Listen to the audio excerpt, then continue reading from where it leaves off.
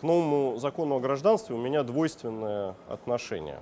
С одной стороны, я всегда выступал и выступаю за то, чтобы границ между нашими странами было бы как можно меньше, чтобы воссоздавалось единое пространство, культурное, образовательное, родственное, в конце концов, между всеми странами, которые входили в состав Советского Союза и шире вообще всего социалистического блока. Я считаю, это правильно, и это наше будущее.